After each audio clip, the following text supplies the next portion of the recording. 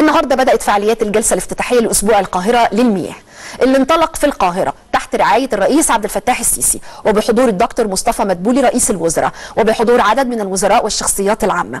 بيعد أسبوع القاهرة للمياه من أكبر الأحداث المائية على المستويات الوطنية والإقليمية والدولية. وزارة الموارد المائية والري المصرية بتنظمه بشكل سنوي بالتعاون مع الشركاء الوطنيين والإقليميين والدوليين وبيهدف الأسبوع بشكل عام لتعزيز الوعي المائي وتشجيع الابتكارات لمواجهة تحديات المياه والتعرف على التحركات العالمية والجهود المبذولة لمواجهة تلك التحديات بالإضافة لتحديد الأدوات الحديثة والتقنيات المستخدمة لإدارة الموارد المائية. بيعقد هذا الحدث تحت عنوان الاستجابة لندرة المياه. واللي تم اختياره ليعكس مدى أهمية الموضوع اللي طبعا مهم لمجتمعنا. أسبوع القاهرة للمياه أسبوع مهم جدا. كل اللي هيتقال في الندوات وفي الجلسات محتاجين إن إحنا نعرفه ونتابعه. في تقاريرنا على المستوى الإعلامي في المواقع الإخبارية اللي بتتحدث عن هذه الندوات. ليه بقى؟ لأنه ده مرتبط بحياتنا.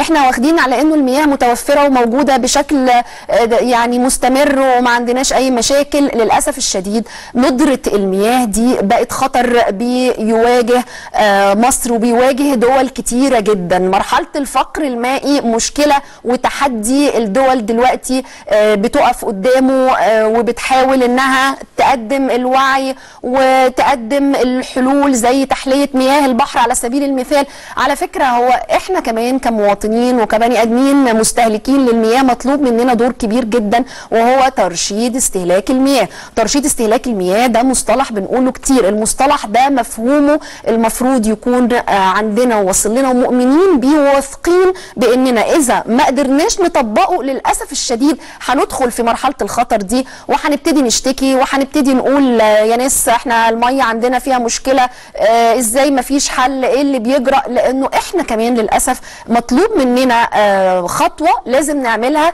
كتير بيعملها وكتير بيتعامل على إنه مفيش أي تحدي مفيش مشاكل المية موجودة بوفرة وبكميات كويسة.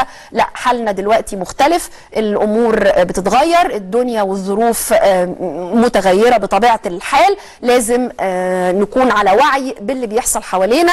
لازم يكون في ترشيد للمياه قدر المستطاع. اللي إحنا عايزينه من المية هو بس اللي نستخدمه. غير كده مفيش داعي طبعا لعملية المية والحنفية اللي ممكن تبقى يعني عايزينها مش عايزينها لكن للأسف الشديد موجودة كده وكأنه ما فيش أي ندرة للمياه ولا في أي خطر ودي كانت طول عمرها حملات ترويجية موجودة بتمنى إنها تستمر و تنتعش مرة تانية الحملات الترويجية الخاصة بترشيد المياه.